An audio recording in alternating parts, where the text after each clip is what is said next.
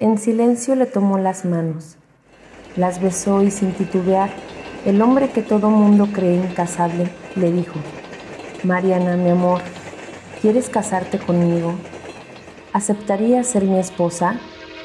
Mariana firme y decidida contestó, Sí, Alejandro, sí quiero, acepto. Alejandro aprovechó la ocasión para hacerle otra pregunta que ella ya esperaba. ¿Dejarás el teatro por mí?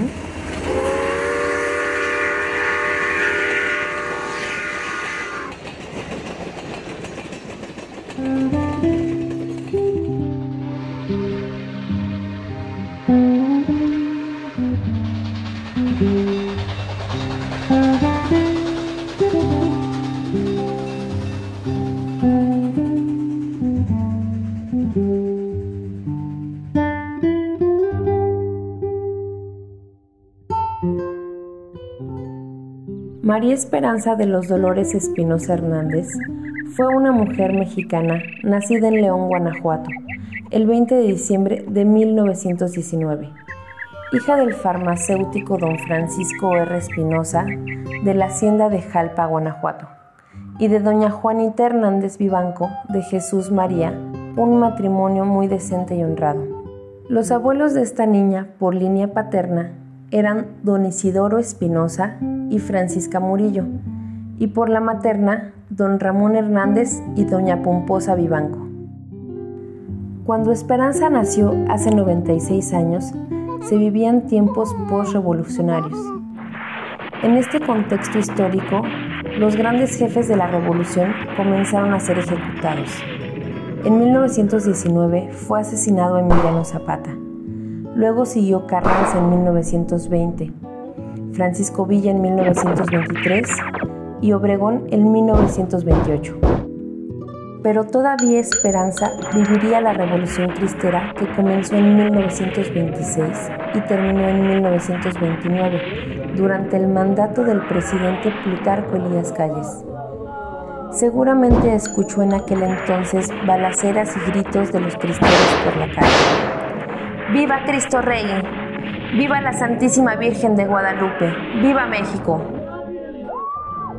Su niñez transcurrió como las infancias de aquellas épocas, jugando, bordando, ayudando a sus padres en las labores del hogar, que en esos tiempos se inculcaban sobre todo a las mujeres. Aunque la educación no era cosa para todas las clases sociales, tuvo la fortuna de poder asistir a la escuela fueron durante esos días, cuando el tiempo pasa entre bastidores, carcajadas y algunos llantos, y cuando poco a poco, en nuestra mente infantil, los deseos escondidos se van haciendo pensamientos y entre juego y juego realidad. Esperanza encontró su primer amor. Ella era muy niña para saberlo, pero este amor, el teatro, la perseguiría por el resto de su vida. Tenía apenas ocho años cuando ingresó al grupo de teatro Don Bosco, del prestigiado actor nacional Don José Elías Moreno, quien se convertiría en una de las grandes figuras del cine de oro mexicano. En el León costumbrista del siglo XX, la joven Esperanza, gracias a su maestro, se introdujo en ese mundo que tantas satisfacciones le dio. Tenía su propio grupo de teatro del cual era directora, Cuadro Esperanza con unas 15 amigas y amigos, montaban obras que presentaban a beneficio de diferentes templos y parroquias de la ciudad.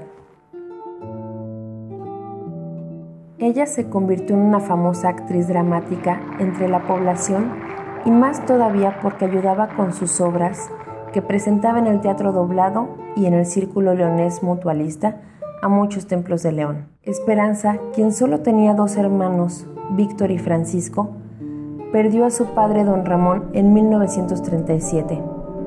En esos tiempos, era costumbre vestirse de negro como señal de luto durante meses o años. Una noche, cuando en el jardín principal, en una tradicional verbena, Esperanza daba una vuelta con sus amigas, escuchó una voz que le decía, ¿quién se moriría en el cielo que los ángeles andan de luto? A la siguiente vuelta, el hombre que le dedicó el piropo le entregó un ramito de violetas y le dijo, estas violetas son para la mujer con los ojos más bonitos de León. Eran los años 30 cuando Esperanza y Ricardo Azuela Martín del Campo, de la hacienda del Jaral, de Lagos de Moreno, Jalisco, se hicieron novios. Y así empezó su gran historia de amor. De 1937 a 1940, la pareja vivió tiempos felices. El teatro seguía adelante, los ensayos jamás interrumpieron. Todos los domingos, Esperanza con su grupo presentaban obras en distintos lugares, anexos a los templos, y él siempre se sentaba en el primer palco con sus amigos ferrocarrileros para ver a su novia. Ricardo era hijo de don Francisco Azuela González, hermano de don Mariano Azuela, novelista de la Revolución Mexicana, y de doña Dolores Martín del Campo, de Lagos de Moreno, Jalisco. Muchas noches, en su ventana, Esperanza escuchó hermosas serenatas que le llevaba Ricardo, hasta que el 17 de enero de 1941 caminaron juntos hacia el altar de la parroquia del Sagrario. Del brazo de su primo, el charro Miguel Hernández, fue entregada a Ricardo en el altar para unirse en feliz matrimonio para siempre. Muchos parientes y amistades los acompañaron ese importante día, sin faltar sus queridos hermanos Víctor y Francisco, así como su hermana Nena. Al término de la ceremonia, pañuelos blancos los despidieron en la estación de ferrocarril, en donde abordaron el tren 14 a México y luego el interoceánico al puerto de Veracruz, donde pasaron su luna de miel. Veracruz, rinconcito donde hacen su nido las olas del mar. Veracruz, pedacito de patria que sabe sufrir y cantar. Veracruz. Son tus noches diluvio de estrellas, palmera y mujer. Mientras todo esto sucedía, en el otro lado del mundo se protagonizaba la Segunda Guerra Mundial de 1939 que comenzó hasta su terminación en 1945. Pese a que México mantuvo un tiempo su posición de neutralidad, continuaba la tranquilidad en el país. Ricardo era el jefe de estación de ferrocarriles nacionales y con su flamante esposa vivieron una vida llena de amor y anécdotas, ya que por su trabajo radicaron en estaciones de ferrocarril y en ranchos aledaños a estas, en varios puntos del centro del país. El ferrocarril en el México de la década de los 30, 40 era un motor detonante en el comercio, la industria y el turismo del país, ya que se utilizaba también como medio de transporte de pasajeros, así como de carga. Las estaciones del tren lucían bellas y nostálgicas.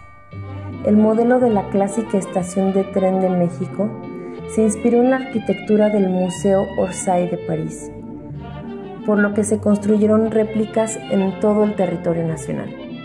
Durante esta travesía tuvieron 13 hijos que se fueron criando entre estos destinos en donde algunas veces radicaban por unos o varios años en cada estación como en la de León, la ciudad de Guanajuato, pero sobre todo donde tuvieron una larga estancia fue en la estación de la Trinidad en el municipio de León, donde al lado de su amado esposo y con todos sus hijos vivieron grandes aventuras. Ella aprovechaba el ferrocarril para disfrutar del teatro en León, en Guanajuato, Lagos, Guadalajara o la Ciudad de México cuando tenía oportunidad. Su esposo y ella disfrutaban a su familia con grandes fiestas que duraban días. El contacto con el campo forjó los caracteres de sus hijos. Fue en Silao donde radicaron también varios años. Él como jefe de estación y Esperanza educando a sus hijos, administrando su negocio de semillas y fertilizantes, pero sin dejar el arte ya que también fundó su compañía de teatro, Catalina Dercel. Con sus hijos mayores y amigos de estos, se daba tiempo para todo. A pesar de ser un pasatiempo, obras de teatro como La enemiga fueron puestas en escena por Esperanza en escenarios como el Teatro Juárez en Guanajuato, el Teatro Doblado en León, el Teatro Rosas Moreno en Lagos y también otros puntos del centro del país. Como en antaño, su educación católica la animaba a recaudar fondos con estas obras a beneficio de los templos de su localidad. Sus hijos fueron creciendo. Unos se educaban en escuelas de Silao y otros en la Universidad de Guanajuato. En Silao fueron años muy felices. Se casaron dos de sus hijos mayores, Ricardo y Estela, quienes con el tiempo los convirtieron en orgullosos abuelos. Ella leía poesía a través de la estación de radio local. Presentaba obras de teatro con sus hijos y amigos, quienes también gustaban por practicar la charrería, nuestro deporte nacional hasta que el 19 de agosto de 1968 el tiempo se detuvo para toda la familia. Don Ricardo Azuela Martínez había fallecido tras una larga enfermedad.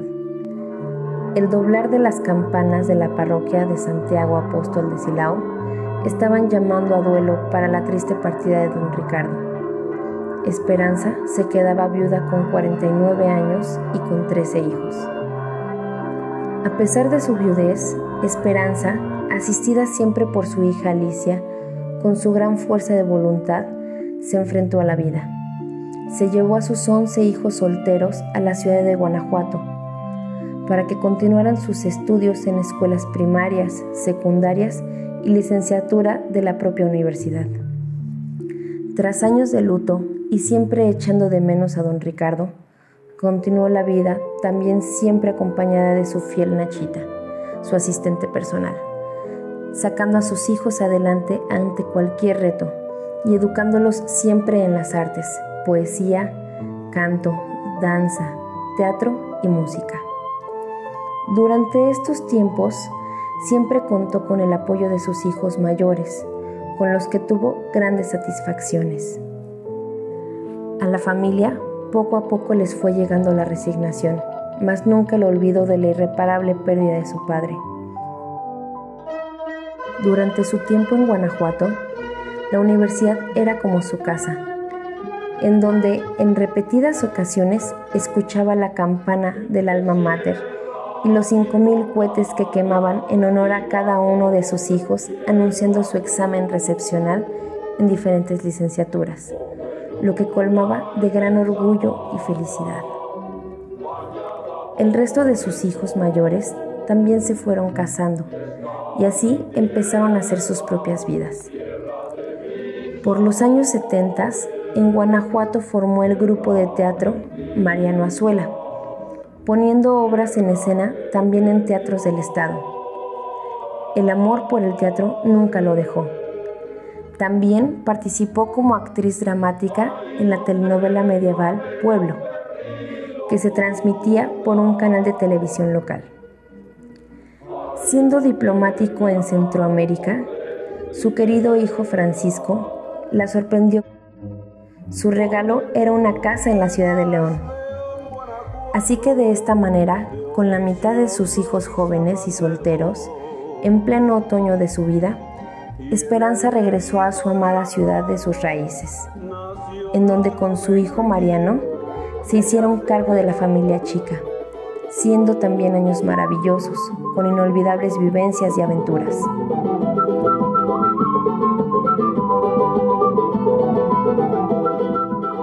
A sus 71 años de edad, Esperanza comenzó a escribir su historia como una promesa al amor de su vida, Ricardo, a quien nunca dejó de amar hasta el final de los tiempos. Cada uno de sus libros fueron presentados desde 1992 en escenarios de León y la ciudad de Guanajuato con gran éxito y ante la presencia de invitados especiales así como la de su familia y amigos.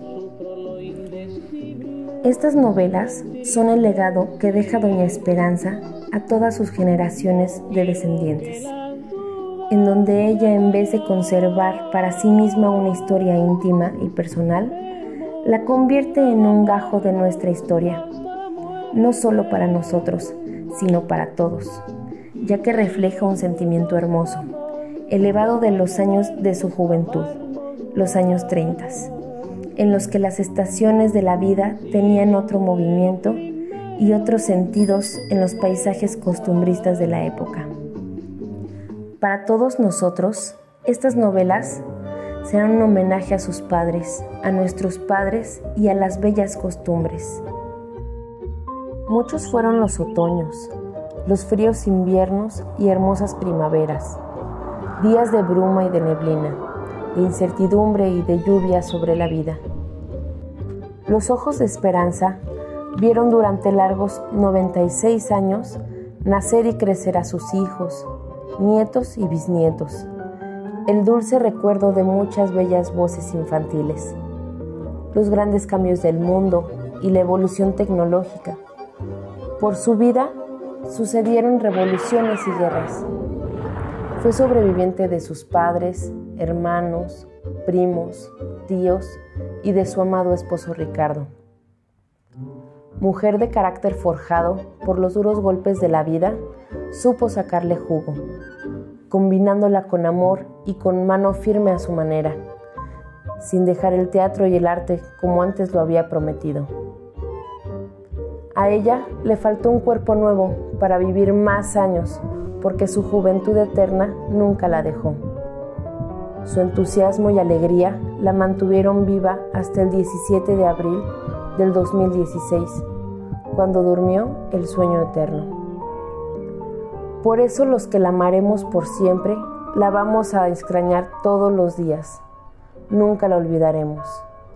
Hasta entonces, esperanza.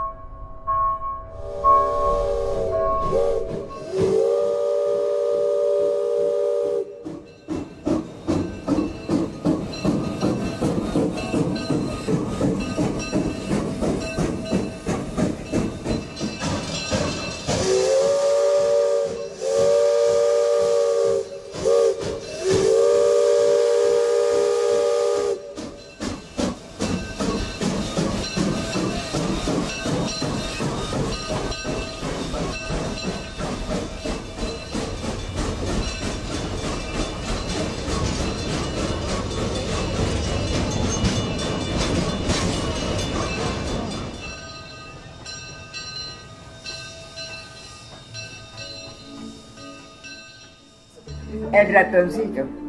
Un ratoncito pequeño, sin malicia todavía, al despertar de su sueño, se sentó en su cuarto un día y al frente del agujero, sentado un gatito estaba y con tono salamero, así al ratoncito hablaba. Sal, querido ratoncito, que te voy a acariciar. Te tengo un dulce muy bueno que te voy a regalar.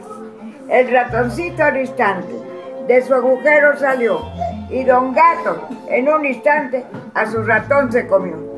Caso moribunda toca despinar los follajes de la noche. Suspiran en el bosque los ribores y las tórtolas gimen en la roca. Es el instante que el amor invoca. Ven junto a mí, te sostendré con flores mientras pasas robando los amores del dulce beso de tu dulce boca. La Virgen suspiró. Sus labios rojos apenas yo te amo pronunciaron. Entrecerráronse lánguidos los ojos. Los labios a los labios se juntaron y las frentes bañadas de sonrojos al peso de la dicha se doblaron. Cayó como una rosa en mar revuelto. Y desde entonces a llorar no he vuelto a su sepulcro lágrimas ni amores. Es que el ingrato corazón olvida cuando estén los deleites de la vida que los sepulcros necesitan flores. Murió aquella mujer con la dulzura de un lirio deshojándose en la albura. Espera, me decía suplicante. Todavía el desengaño está distante. Espera la caída de las hojas. Espera la llegada de las brumas cuando caigan sus hojas y sus plumas, y noviembre deshoja sus, sus terribles hojas. Mueve mi Dios para que desde el cielo que me tienes prometido. Y me mueve el infierno tan temido, Señor, por dejar por eso de ofenderte. Muéveme al verte, clavado en una cruz, escarnecido. Muéveme a ver tu cuerpo tan herido. Muéveme a ver tus ofrendas y tu cuerpo. Muéveme en ti por tu amor, Señor, de tal manera que si no hubiera cielo, yo te amara. Si no hubiera infierno, te temiera. No tienes que dar porque te quiera. Ahí está la cruz, de lo mismo que te quiero.